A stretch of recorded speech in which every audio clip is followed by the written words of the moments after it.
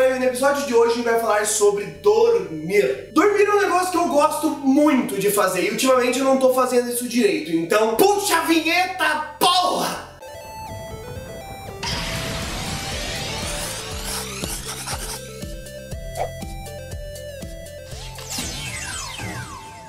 Bom, aqui em Curitiba tá fazendo frio. E é tipo um friozinho casual. A gente ainda não chegou no total potencial do nosso frio. Tá fazendo tipo 10, 15 graus assim. Eu quero ver quando abaixar ainda mais. Essa semana tá sendo tão corrida pra mim, mas tipo tão corrida mesmo, que meu horário ficou uma zona. Por exemplo, teve dia que eu fui dormir e era tipo 10 horas da manhã. E quando eu fui dormir 10 horas da manhã, eu acordei às 5 horas da tarde. Acordei naquele susto, saí correndo para fazer tudo que eu tinha que fazer e obviamente eu fui dormir ainda mais tarde no dia seguinte. Toda hora que eu paro para pensar assim, tipo, Renato, você devia estar dormindo agora. Eu não durmo. Quando você precisa dormir, você não dorme.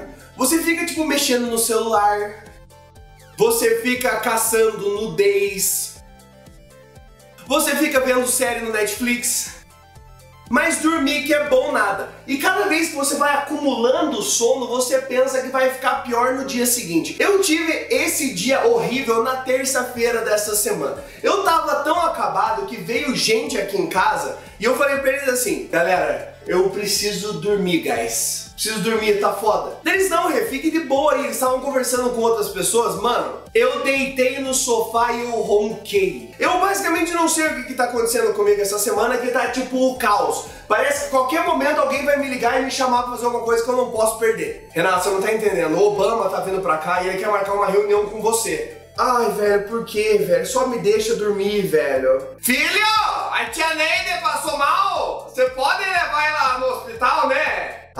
Só morre, Neide. Não me incomoda, cara. Filho! Teu irmão se acidentou, tem que ir lá ajudar. Porra, Rafael. Porra, cara. Em um resumo, o que eu tô desejando muito essa semana é dormir. Eu quero pegar aquele dia que eu não vou ter nada pra fazer, ou seja, nunca. E eu queria deitar na cama sem o objetivo de levantar, entendeu? Eu queria ficar tipo um dia inteiro internado no Netflix, dormindo igual um doente, entendeu? Ficar lá assim, ó, embaixo das cobertas. É, quem sabe dá até aquele cuddlezinho raiz se é que você me entende. Cara, qual foi a semana que mais te fudeu o sono e o que, que você fez para arrumar o seu sono? O que, que você fez, cara? Sei lá, você fez tipo reza braba, assim?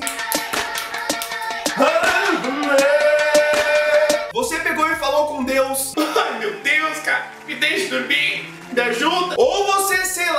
Simplesmente falou tchau e foi pra cama e dormiu. Conta pra mim aí nos comentários qual foi a parada que mais te zoou. A gente se vê no próximo Que Estranho. Um grande abraço aí pra vocês e...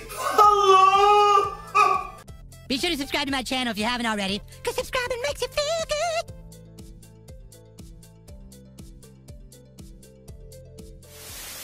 Tipo, eu gravei nesse sofá e a intenção era eu gravar, tipo, deitado.